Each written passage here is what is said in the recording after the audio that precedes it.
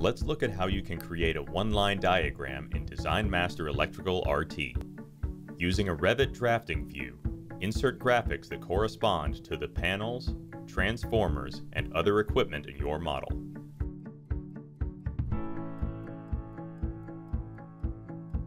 All of the labels pull information from shared parameters, just like standard Revit tags.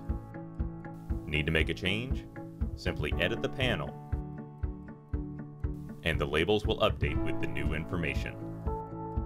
Not sure about the graphics? Don't worry, they use standard Revit families that can be modified or replaced with your own to get the appearance you want. Let's look at how feeder sizing works in Design Master Electrical RT. We've replaced Revit's feeder sizing capabilities with our own. Each panel has a feeder size that you control.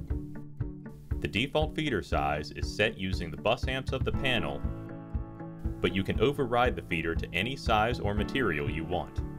The ground and neutral can also be sized automatically or set by you when needed. Feeder lengths are calculated based upon the locations of the panels in the model. You can enter a specific length if you need to override the calculated value. These options give you control over how your feeders are sized. Let's look at how branch circuit breaker and wire sizing works in Design Master Electrical RT. We've added automatic breaker sizing and replaced Revit's wire sizing with our own. Branch circuits use the load on the connected devices to choose the default breaker and wire sizes. You can override the calculated values and select specific breaker, conductor, neutral, or ground sizes. The conduit resizes automatically to make sure you don't exceed a 40% fill, but you can change that size too. The voltage drop on the circuit is calculated based upon the selected wire size and location of the panel and devices in the model. You have options for how the wire length is calculated and can override it as needed. These options give you control over how your branch circuit breakers and wires are sized. Let's look at how voltage drop works in Design Master Electrical RT. The software calculates voltage drop on both feeders and branch circuits. Connect your equipment using standard Revit functionality. Wire sizes are set using our software, and wire lengths are calculated based upon the location of equipment in the model. You can override both the wire size and wire length as needed. Control over the design is in your hands. The voltage drop is then calculated based upon the calculated demand loads for feeders and the connected load of circuited devices for branch circuits. The software provides a default schedule to display the voltage drop using Design Master shared parameters. Changes to the model are reflected automatically. Let's look at how fault current calculations work in Design Master Electrical RT. The software calculates the fault current at each piece of electrical equipment in your Revit model. Connect your equipment using standard Revit functionality.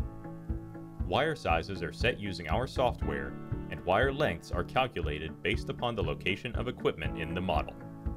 You can override both the wire size and wire length as needed. Control over the design is in your hands. The software provides a default schedule to display the fault current using Design Master shared parameters. Let's look at how arc flash calculations work in Design Master Electrical RT. First, our software calculates the fault current at each piece of electrical equipment in your Revit model.